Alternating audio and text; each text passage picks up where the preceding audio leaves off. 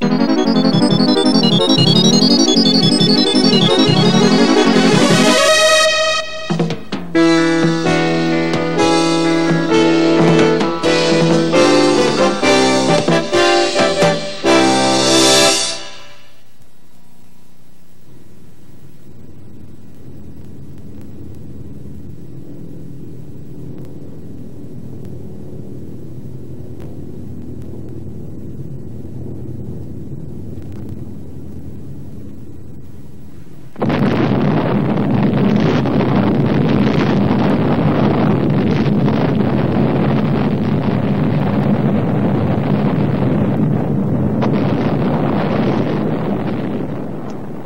the 16th, 1945. The first nuclear explosion takes place in secret at Alamogordo, New Mexico.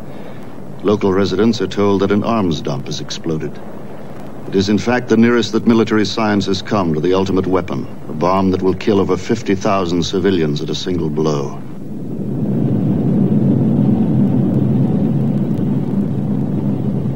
20th century has been the most violent in man's history.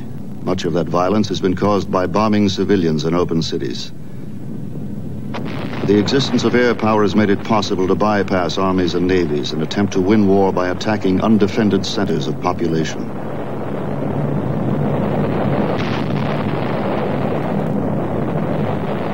This film is about those attempts.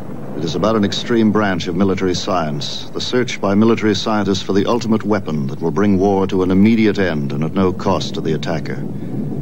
To tell that story, we will show much film that either never has been seen by the public or that is long forgotten. Much of it is propaganda film, but then war makers deal in propaganda. Much of it shows extreme nationalist prejudice. Then from the First World War onwards, much of the history of the 20th century has been the history of the political or physical control of one nation by another.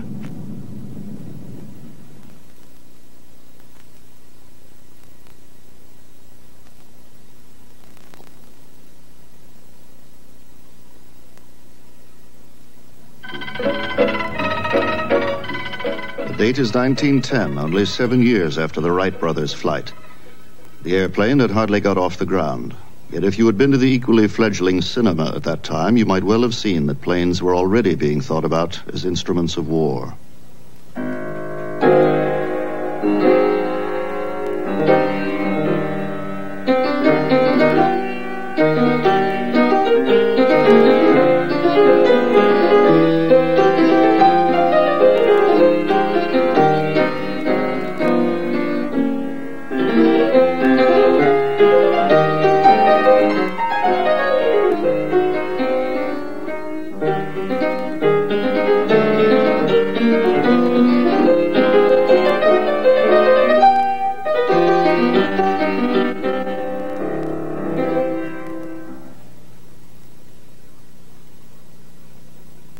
The armies of the old world gathered their forces, war from the air was still a dream of the military scientist. For these soldiers were still living in the world of conventional military technology, the world in which cavalry would provide the main offensive thrust in an attack. Yet as the armies of Europe gathered in the hot summer of 1914, they were certain of one thing that the war would be a short one. The boys would be back in time for Christmas. But soon it became clear that the war would be anything but short. Soon the armies were facing each other in trenches spread over hundreds of miles.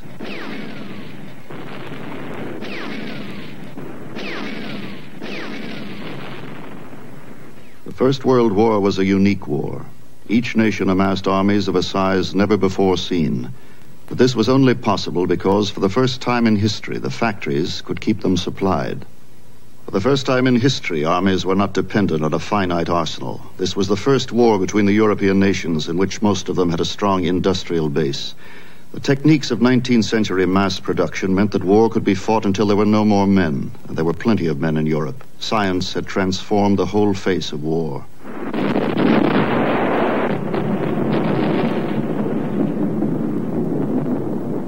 The First World War was a stalemate. Since the time of Napoleon, generals had relied on the strategy of swift offensive attacks. But now to leave the trenches meant to get slaughtered, particularly by that devastating invention of a Scottish clergyman, the machine gun. And so this impasse of military technology meant that the war ground on through 1914, 1915, 1916. There was, it is true, the tank. That could have been a new offensive weapon. But tanks were under the command of infantry generals, and that meant that they had to go at the speed of the infantry. And so the war became not so much a war of clear objectives, but a vast continental tragedy in which thousands of men were forced into a nightmare of fear and disease and madness a war which slaughtered a whole generation.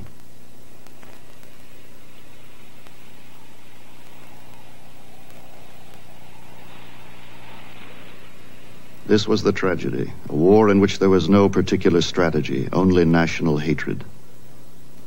Yet out of the mud of Flanders, where thousands of men were lost in useless attack after useless attack, was to emerge a new offensive strategy. It involved an entirely fresh approach to the military possibilities of mechanization, and it owes almost all its worldwide influence to one man, a man who was obscure at the time and who still is, an Italian staff officer.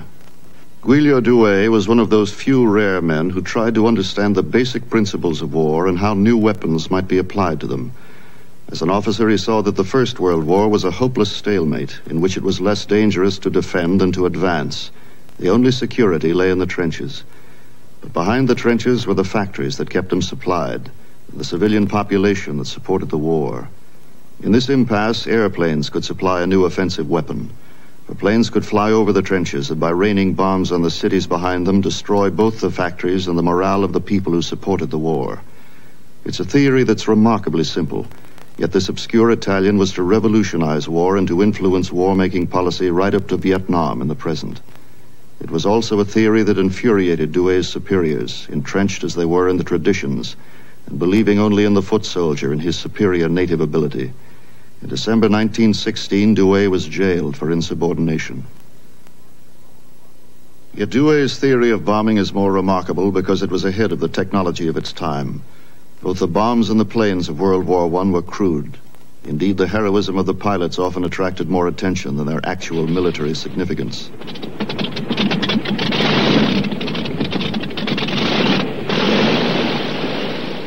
Nevertheless, in June 1917, a German plane was to cross the English Channel and bomb London. It was a strategic event that was to have significance to military science way beyond the actual damage caused.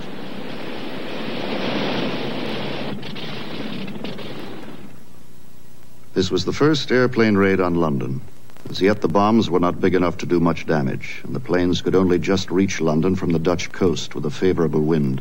There may not have been much havoc, but a capital city whose navy had defended it successfully for 850 years was now open to attack. Before the First World War was over, Douhet wrote this. Let us suppose that in a few minutes a city receives in its central part 20 tons of bombs. Gases that kill prevent approach to the zone which has been bombed. Fires develop and spread. What happens in one town can on the same day happen in 10 or 50 great centers. What government will be strong enough to maintain order? How can work be done in the factories?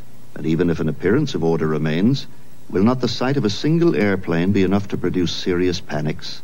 It will not be long before the population will demand a cessation of hostilities at any price. There were small bombing raids all over Europe in the First World War, but essentially it was a land war and a war between soldiers.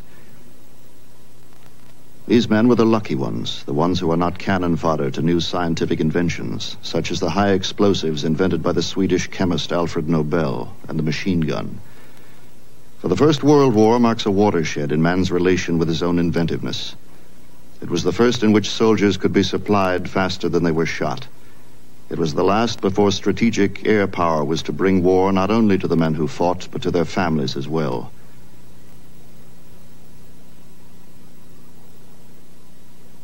The First World War totally exhausted the European nations. To avoid this, Douhet felt war in the future must be sudden and short. If these men ever got back their sight, it would not have been long before they had seen this film.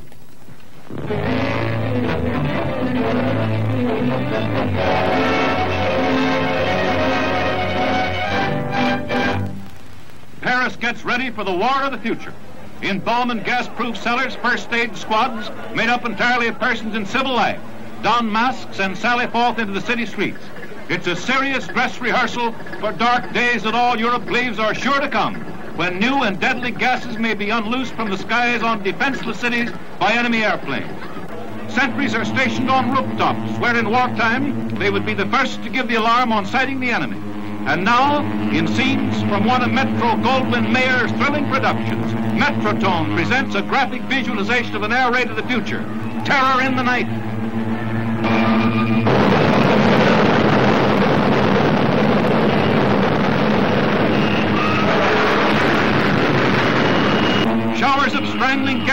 Gas bombs rain down. Film fiction that may someday be a fact. This is a prediction of a classic Douhet type war. All the elements are there surprise, attack on civilians, and a whole air force against a single city. Only the part about poison gas is wrong. In fact, the major weapons of bombing were not to be gas, but high explosives, incendiaries, and nuclear power. But who could have predicted nuclear explosives before Chadwick had discovered the neutron in 1932? This film, made between the two world wars, has an H.G. Wells quality about it. But it only shows Douhet wrong in his predictions about technology. For this, he should not be underestimated.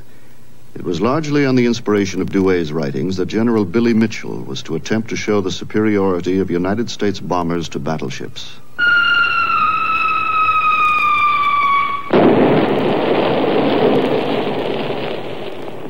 Billy Mitchell, on the right, was a disciple of Douhet's. In 1923, he claimed that a thousand pound bomb could sink a battleship. The claim was treated skeptically by the Navy.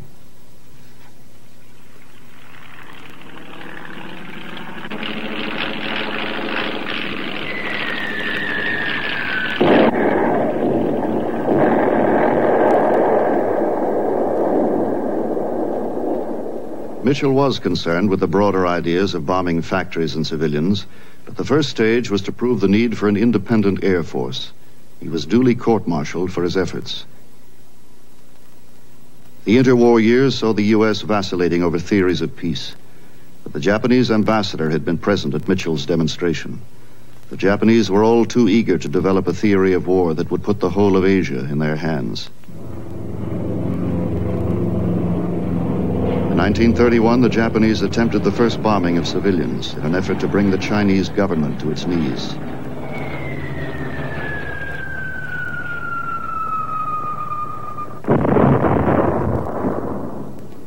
Hundreds of civilians were killed or burned in the old wooden cities of China. But the Chinese regime was so decadent and fell so easily that Western military observers found it hard to judge whether Douhet's thesis was correct. Soon, in 1935, bombing was to receive a test nearer to home. Nightmare horror in Barcelona. The grim story of air raids. Most grim story yet without being horrific, for these pictures tell of terror, not actually of carnage. Franco's aeroplanes have been over Barcelona and have dropped their bombs. Here and there through the city where the bombs have fallen, ruined homes pay stark tribute to the ruthlessness of modern war.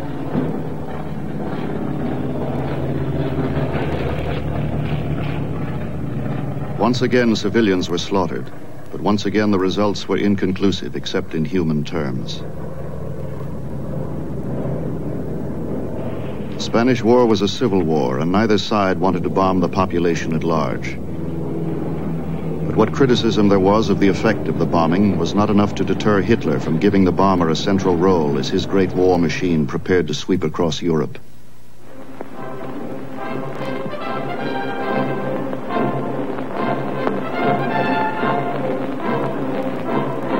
This is a German propaganda film about the training of aircraft mechanics, for in Germany, crushed and surrounded by larger land armies in World War I, the airplane had a special significance.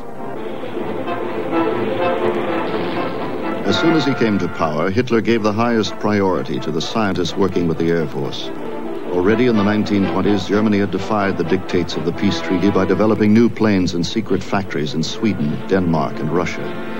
Now, while other countries were still building planes on wooden frames, the Germans were the first to build an all-metal long-range bomber armored against anti-aircraft fire and incorporating the latest technology of radio communication and bomb sights.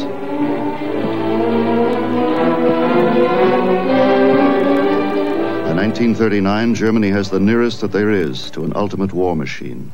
a huge bomber force capable of destroying whole cities.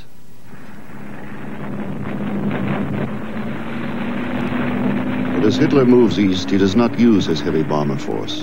Instead of blanket attacks against the civilian population, dive bombers are used against important military targets such as railroad centers.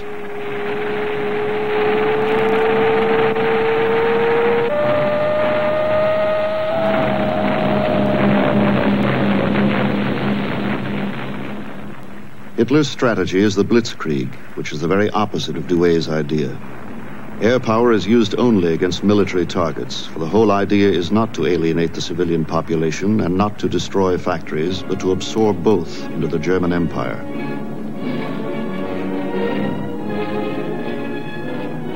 So far, Hitler has not found an intractable enemy. Then he reaches Warsaw.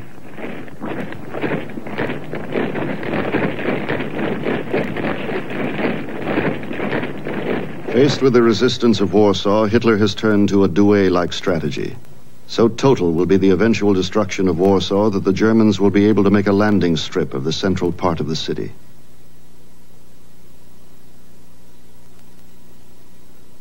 This is Peenemünde. This is Hitler's gathering place of scientists and military men. This is the source of the technical innovation that has given Hitler almost total control of the air in Europe. Peenemünde was the source of new aerodynamic techniques, the jet engine, and eventually the ballistic missiles, which caused such panic in England in the later years of the war. But Hitler failed to finance Peenemünde seriously, as he also failed to finance German nuclear research. And he failed to finance them because he thought he would not need them. La Madeleine. Der Führer trifft zu früher Morgenstunde überraschend in Paris ein und besichtigt bei seiner Fahrt durch die Stadt auch dieses This is Paris, May the 12th, 1940. This is Hitler's greatest triumph. Unlike the science fiction film of the 1930s, Paris is not destroyed. The civilian population has not been terrorized with poison gas. Indeed, there is not a bombed building in sight. Hitler is not needed to use Douhet's strategy against Paris because the Blitzkrieg has forced the British army off the continent and France has capitulated. This is the strategy of conquest at its most successful, for nothing is destroyed.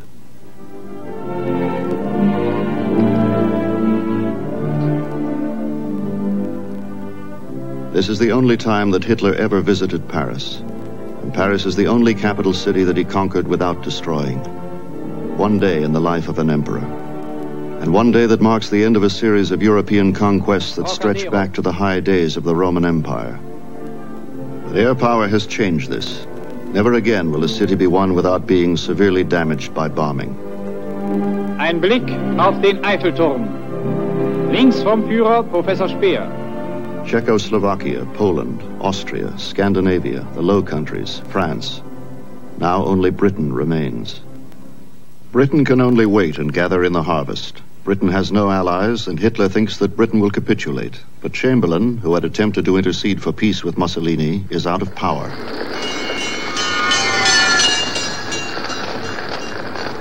London proves as intractable as Warsaw. London is bombed continuously for three months. But instead of destroying civilian morale, as Douhet had predicted, it does the very opposite. Churchill is said to have gone out into the park at night in the early months of the war, praying for a German bomber to attack. He understood the effect it would have on civilian morale and on American involvement in the war. This soundtrack was made in 1940 when America was still a neutral. Dr. Paul Joseph Goebbels said recently that the nightly air raids have had a terrific effect upon the morale of the people of London. The good doctor is absolutely right. Today, the morale of the people is higher than ever before. They are fused together not by fear, but by a surging spirit of courage the like of which the world has never known. They know that thousands of them will die, but they would rather stand up and face death than kneel down and face the kind of existence the conqueror would impose upon them. Instead of destroying civilian morale, open city bombing seems to do the very opposite. But the British also have another weapon against bombing radar. Before the war, Churchill had gathered together many of the most talented physicists in Britain and America. Between them, they had produced a defensive electronic mantle around Britain. Over 50 radar sites were connected to a control center, and this to the fighters. With German bombers flying at over 250 miles an hour, seconds counted. But radar enabled the fighters to get off the ground before they were bombed. Douhet's theory had rested on surprise, but scientists had eliminated surprise.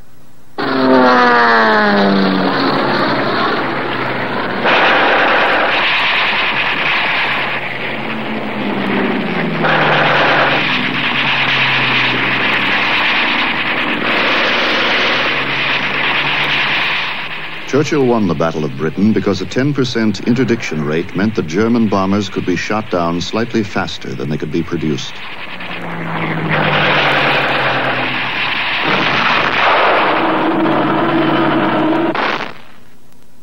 It was radar that gave Churchill the advantage, and it was Churchill who understood better than anyone the cold statistical and scientific background to air war.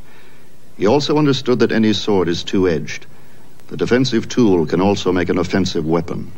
In May 1941, systematic work had started on a blind bombing system, Oboe. This is the British offensive radar system for finding enemy bombing targets in a blackout. This is the beginning of a long, cold battle of scientific minds that is to make air war more and more devastating, and in which the only jokers are the spies. But it is not long before the German defensive radar system is as effective as the British.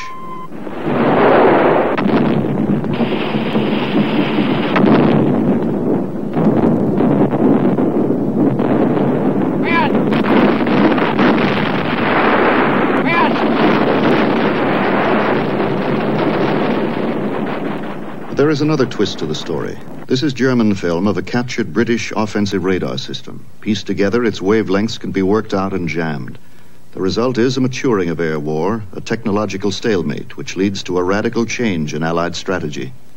There are a lot of people who say that bombing can never win a war. Well, my answer to that is that it has never been tried yet, and we shall see.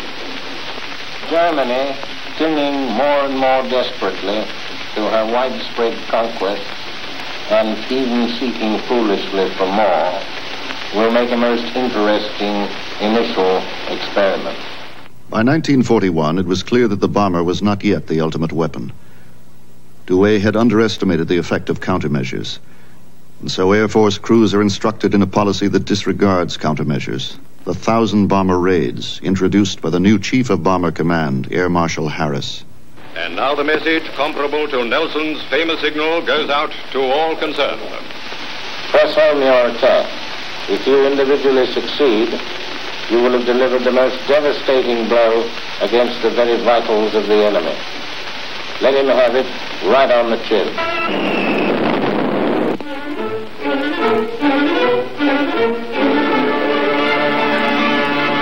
Pathé Gazette welcomes back to Britain its special correspondent, Mr. Quentin Reynolds. And so it was.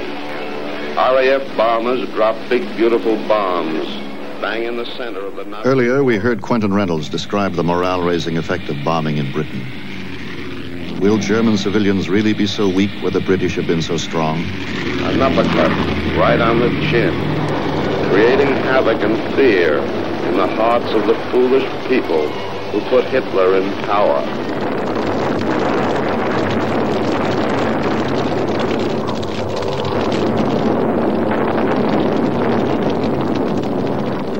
This is Hamburg, after one of the area bombing raids. The important principle calculated by British scientists is to produce the right mixture of high explosive and incendiary bombs. When a large number of scattered fires start, the upward current of air creates a draft, and that starts a fireball. It is most important not to start too many fires, as the oxygen available to the fireball will then be used up. And yet the effect on German cities is similar to that on London. People do not turn on the government, and the same practical measures are calmly taken to evacuate people to the country. In Dresden, 60,000 people are killed in a single night. But peace has to be made with the living, not the dead. These people are not demanding the cessation of hostilities, the opposite, in fact. The bombing also fails seriously to affect German war production until the war on land is almost won. A special target is made by the Americans of ball bearing factories at Schweinfurt, essential to all war vehicles. But the ball bearing factories are decentralized. The American Strategic Bombing Survey showed clearly that German war production continues to increase right up to the end of 1944 in thousands of skillfully camouflaged factories. It is only in the last months of the war that these oil storage depots in southeastern Europe are attacked and oil production is brought almost to a halt. At this stage, the effect of bombing is considerable, but it is certainly not decisive. And so Hitler was able to produce a vast air force for his personally directed battle against Stalingrad in the summer of 1942. This is Stalingrad after the heaviest air attack that history has yet seen. This is total war. Hitler has crossed hundreds of miles of Russian territory and has built airfields within reach of the city.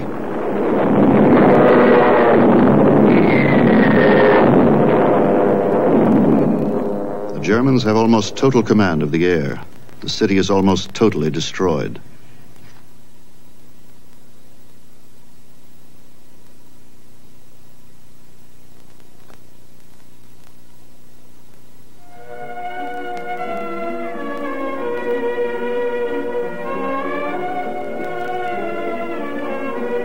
What can be won in war? Hardly a building in Stalingrad escapes the bombing. And yet compare this film with the film of Hitler's entry into Paris.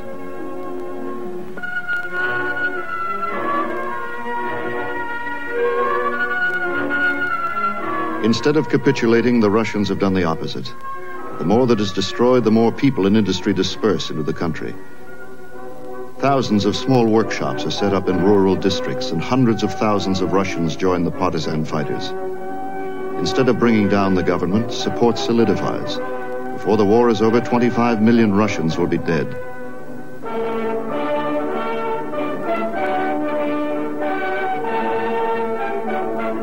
Using guerrilla tactics, the partisans continually harass the German army outside Stalingrad. By February 1943, over 100,000 German prisoners have been taken, and another Russian army is able to break through from the Urals. The happy has come.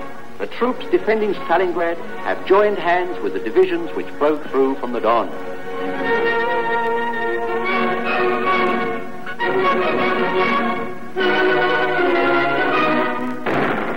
The last shot is fired.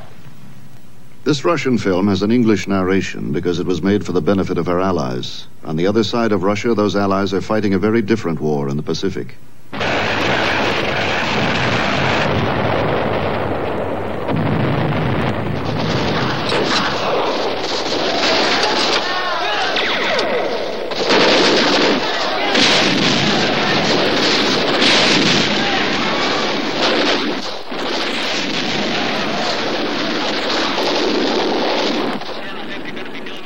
Attack on Pearl Harbor, the Japanese won the most significant air victory in history. American strategists are now faced with a situation that they have always feared a war on both sides of the American continent, and one that promises to be painfully long. We are faced with a different situation to that in Europe. Pearl Harbor has meant that Japan has to be fought on a front thousands of miles long. The search for the ultimate weapon is still on, and more so than ever in the extraordinary circumstances of the Pacific War.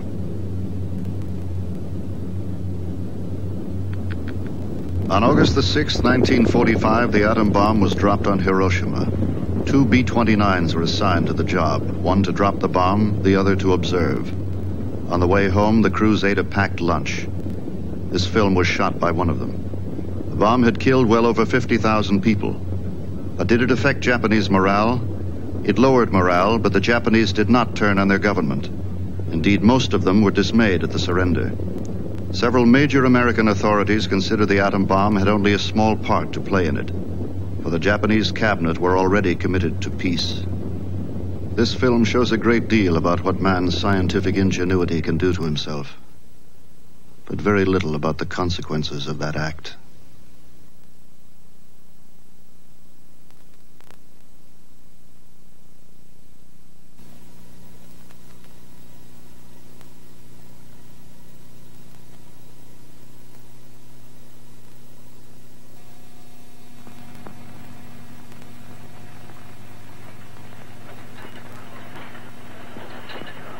North Vietnam, 1968. We are in an underground printing press of the North Vietnamese Communist Party. The printing press is underground to protect it from attack by United States bombers. But this is a war in which propaganda is as important as bombs. We have jumped ahead in time. In 1944, Russian research on nuclear weapons, dropped in favor of defensive weapons, had resumed. Under the umbrella of nuclear stalemate, a small rural country can now challenge the most powerful air force in the history of the world. North Vietnam, 1968. A young guerrilla fighter defuses an unexploded United States bomb in a sea of craters. In the first half of this film, we saw how, out of the ruins of the First World War, the ultimate weapon was developed. In the second half, we shall see how the powers holding nuclear weapons are sucked into an arms race against each other, and how they can be challenged by a quite different strategy the strategy of people's war.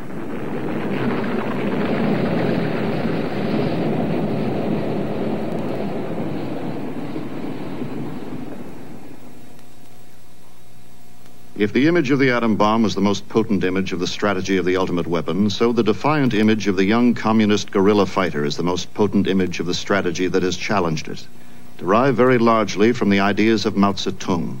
Just as Douhet's theories were rooted in the First World War, so Mao's strategy has equally been rooted in history. These are Chinese refugees from the Japanese bombing of the 1930s. Their exodus to the country played a direct part in the emergence of Mao's strategy.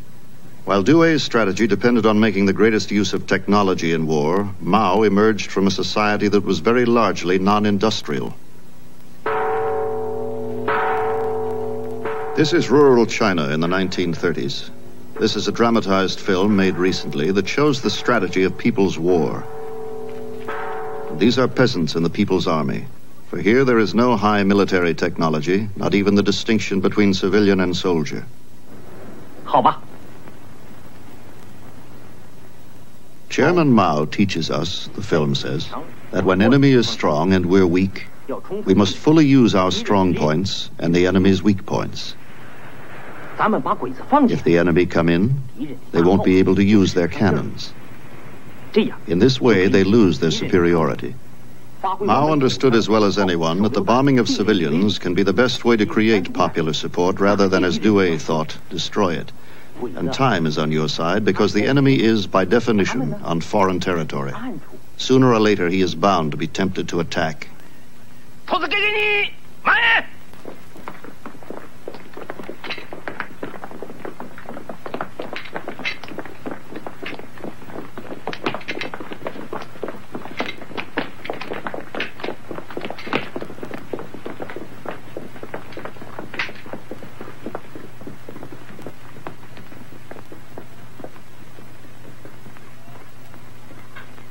火！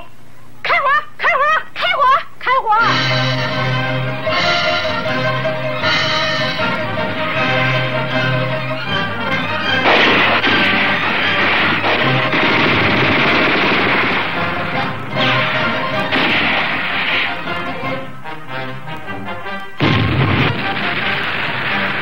你发挥你的优势。They have their way of fighting, the film says. And we have ours. When they attack us, they can't even find us. When we attack them, we make sure to wipe them out. If we can't destroy them, at least they can't destroy us.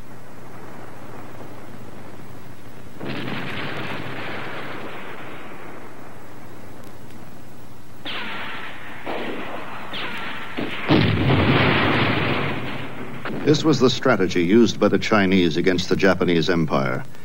It was very different to that used by the United States in the Pacific. When the Japanese came to surrender on the USS Missouri, it was the United States that became the inheritor of their empire.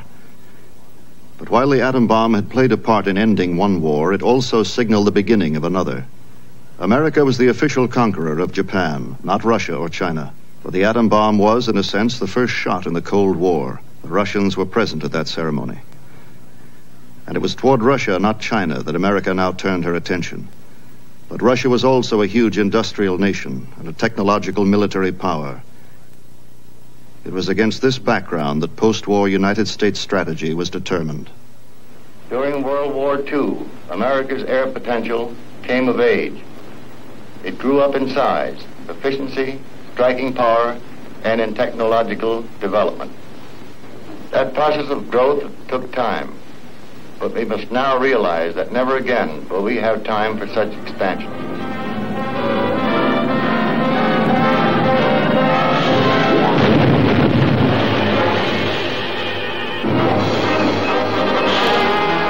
We must maintain an adequate, well-trained, fully equipped Air Force of the kind necessary to use these new weapons quickly and effectively. Today, science is providing us with more devastating explosives and with intercontinental bombers capable of carrying them direct to the enemy nations from existing American bases. And so America developed a strategy that came straight out of the little red works of Douhet. Today we think in terms of huge air armadas, utterly devastating an enemy's war-making capacity at the instant of aggression. 1948. We are in the age of American global air power. But while in the post-war years America relied on these huge bombers, Stalin advocated that a strategy that relied on machines rather than men was a symbol of bourgeois decadence. But in America, bring back the boys had been the slogan after World War II. With the upper hand in Douhet's terms, what was the need for ground troops? This was the age of the super bomber and the age of technological breakthrough. First there was the jet, then the rocket boosted jet. In 1946, the Air Force was even talking of a nuclear powered airplane that could fly on forever. This was to be the American century, the age when American pilots talked of fighting a war after breakfast and returning home to their families for supper. You'd think SAC men would get used to leaving their families, but they never do. Americans certainly are a home loving lot. But the men are subservient to the machines. Air power is essentially a matter of technology. In the heady days after the Manhattan Project, technology is given pride of place in the American military scene. So heady is the confidence that the nuclear bomb can even be seen as beneficial. Strategic air power can shorten war materially and save the lives of millions of freedom loving men throughout the world. Douhet, too, had hoped that air power would shorten war. But as Douhet had been confounded by countermeasures, so American air strategy was to be equally confounded by the Russian A bomb. North Korea, 1950. One year after the Russian A bomb. The devastating machinery of American nuclear power is grounded, but Mao's strategy relies not on machinery, but on human adaptability and dedication. While America can only fight a heavy conventional war, the North Koreans are able to fight both a guerrilla war and a conventional war. The American Air Force claims that there is not a target left to bomb, but still the North Koreans are able to shoot down thousands of United States planes and fight on. United States strategy, so confident in the post war years, seems to have come badly adrift.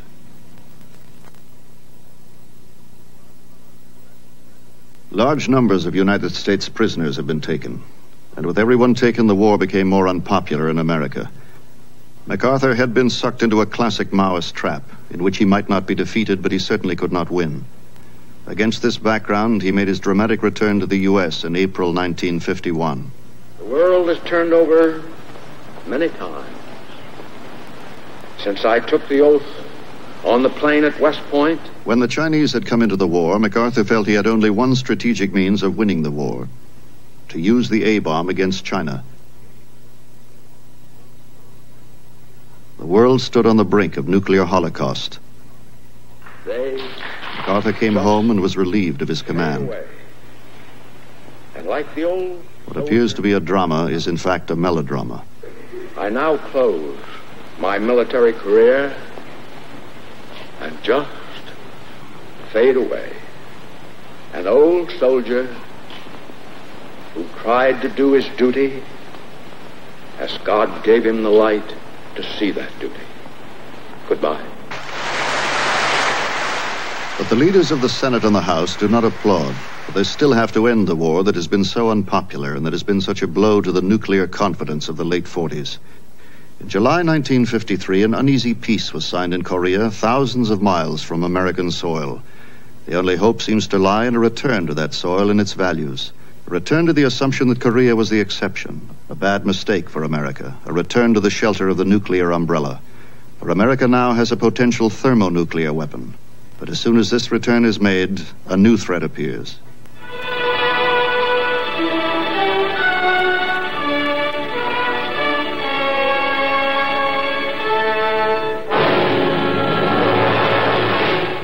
Let's face it, the threat of hydrogen bomb warfare is the greatest danger our nation has ever known. Enemy jet bombers carrying nuclear weapons can sweep over a variety of routes and drop bombs on any important target in the United States.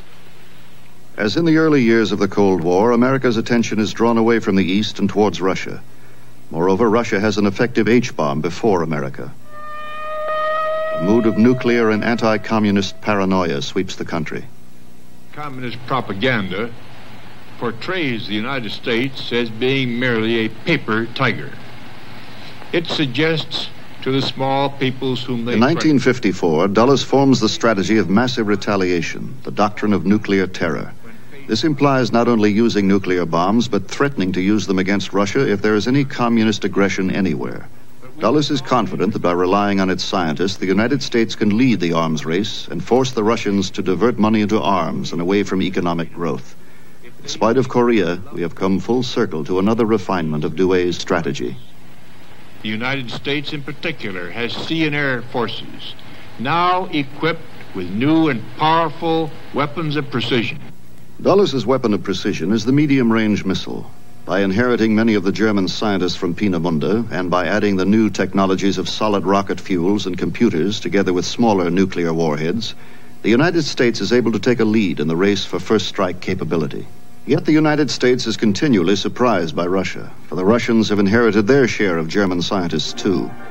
It is the Russians who are the first to fire both a long range intercontinental ballistic missile and take potential war one dimension further by putting a man into space.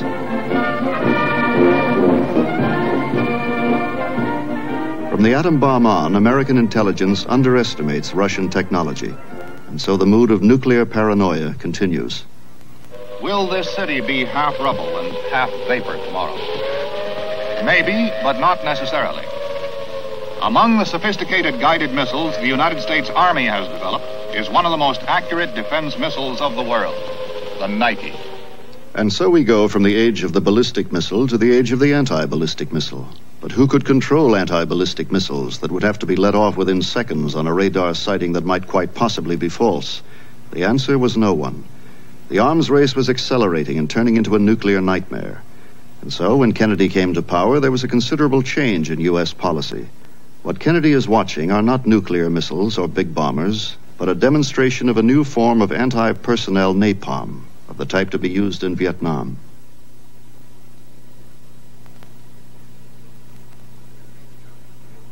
With Kennedy and Johnson, the old strategists of the Dulles massive retaliation school left the Pentagon, and in came a new group of systems analysts. With them came the strategy of limited war and the idea of flexible forces together with a vast array of more powerful and more precise bombs. Vietnam. How can we show Vietnam? How can we show a war which still arouses such passions and which is still continuing? One way is to show this film, a film report prepared for Air Force commanders on the results of several months' bombing. It has no music, no sound effects, only a dry narration that describes the different kinds of bombs dropped napalm, high explosive, anti personnel, and the targets against which they are used. It includes no failures. It is battle reporting at its coldest. This strike, 32 miles west southwest of Saigon. BLU 27 Incendagel destroyed four fortified enemy bunkers and one large cargo sampan. 28 February, a B 57 of the 2nd Squadron of the Royal Australian Air Force, assigned to the U.S. 35th Tactical Fighter Wing, attacks, helping to clear an enemy area for a new ground forces landing zone 25 miles south of Binh Tuy. A blister camera on the Canberra bomber recorded the bomb impacts. The mission forward air controller reported at least five enemy held structures and bunkers were heavily damaged. 1 March, F 100s hit a large enemy concentration near Tra east of Binh Tuy. Eight enemy held structures destroyed, three damaged, two bunkers destroyed, three damaged. There are no people in this film, for this is the airman's view of war. This is war from the air at its cleanest, coldest, and most technological. New developments in aerodynamics technique, infrared sensing devices, new laser technology, electronics that take us to the frontiers of modern physics, observational devices working with computers in real time, new types of napalm that stick to the skin, improved high explosive bombs, anti personnel bombs whose fragments cannot be seen by medical x rays. All these are thrown against the Vietnamese communists. In almost every aspect of the air war in Vietnam, we are on the frontiers of new knowledge. Even the pilots become almost mechanical, often being told no more about their targets than a numerical map reference. Yet often these targets are people. We have come a long way from the First World War when thousands upon thousands of men were lined up as cannon fodder for each other. But this is not a war for territory. This is a war for people's minds. But in this kind of war, what can air power achieve? Bombing can achieve destruction, that we know. Barcelona, Shanghai, Warsaw, London, Hamburg, Dresden, Hiroshima, Tokyo, Nagasaki, Seoul, and many of the cities in North Korea, all of these have been destroyed. All over the world, the graves of tens of thousands of civilians bear eloquent witness of this. But can bombing help to win war? Certainly it can help. Without air superiority, it is difficult to win a conventional military battle. Bombers are vital in wars for territory like the Middle East wars, but few wars today are of this nature. When fighting the communists in Malaya, the British did not even use bombers. For although bombing has depressed morale, never has it turned people against their government as Douhet predicted. All the major academic surveys of bombing show this clearly. To see why, look at this film. It is North Vietnamese, but suppose that it was America that had been bombed. Nam Dinh Textile Mill, one of the largest textile mills in Southeast Asia, was completely destroyed. But the American bombing could not stop production.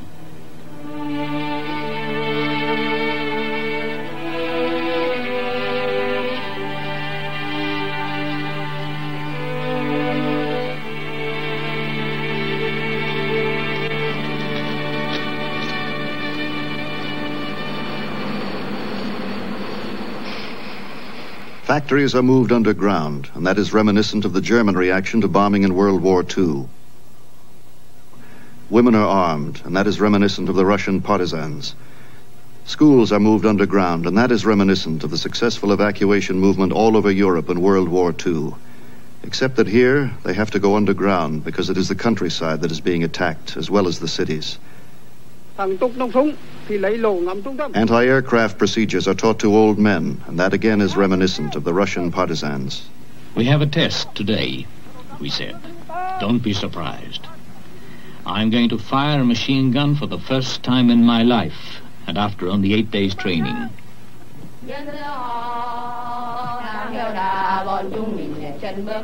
Underwater causeways are made for the movement of troops, a method of preventing bridges from being bombed that was developed by the North Koreans against the United States Air Force.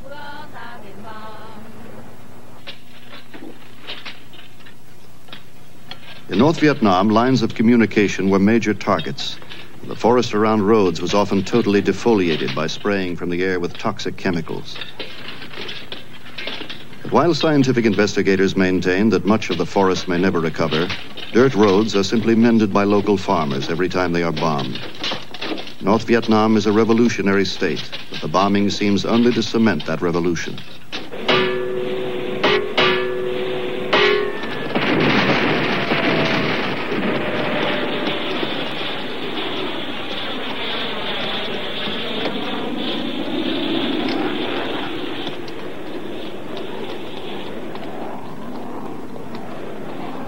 The war in Vietnam is a war waged by the whole people.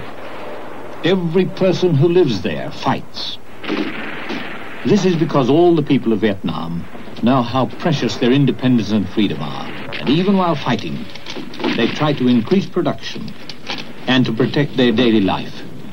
This is a true picture of a people's war.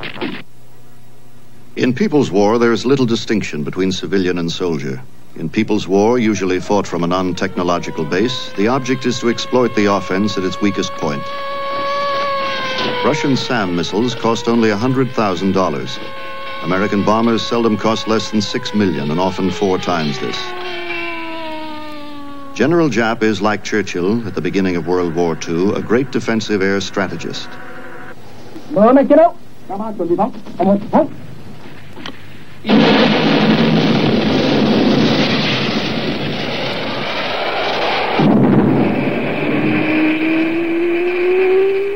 United States bomber is shot down. It is then salvaged as a trophy. In the first half of this film, we saw how people resisted the destructiveness of air power. Now we see this resistance become formalized as part of Maoist strategy. Relying on the dedication of people to the communist ideal, however much we may dislike that ideal, can make a mockery of a strategy that relies heavily on machines.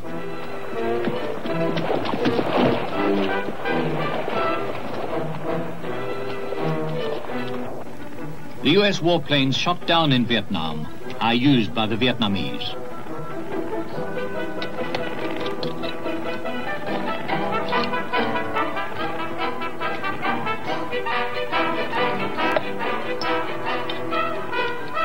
At the beginning of this film, we saw how, from the days when planes were not even made of metal, military scientists were imagining how they might be used in war. We saw these ideas develop into an ultimate weapon, the weapon that could turn a person into a shadow. That is how air power can be used in war. But peace has to be made with the living, not the dead. And these North Vietnamese people are living. By turning planes into pots and pans and eating off them, they are defying American air power. By turning a plane into a plate, they are turning an instrument of scientific destruction into a symbol of cultural vigor. Might we not make the same mockery of the attacker if we were attacked? This would be a nice place to end our story by showing how man's ingenuity can counter his destructiveness.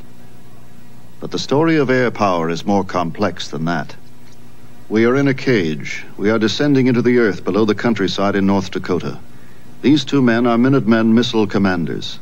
3,000 miles away, similarly dressed men are descending in similar elevators deep in the Russian countryside. These men are the men who would press the button on command from the president. Each is armed with instructions to shoot the other should he go berserk. For the utmost safety precautions have been taken.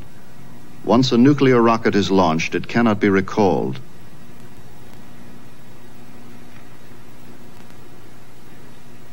We are in a cage, deep below the frozen winter soil of the North Dakota countryside. There, the grain of next year's harvest is lying dormant. We are on our way to the controls of the ultimate weapon, we know that the weapons of air power can annihilate us. But what use are they to a hungry world? Do they serve the cause of peace? Or do they only serve the causes of fear and suspicion? Meanwhile, the Minutemen commanders must continue their long, boring shift.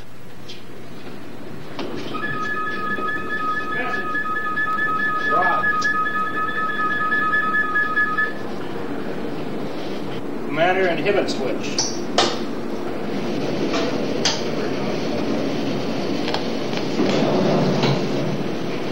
To inhibit launch. Inhibit launch. Deputy, logic clear push button. Not required, no lights illuminated. NA.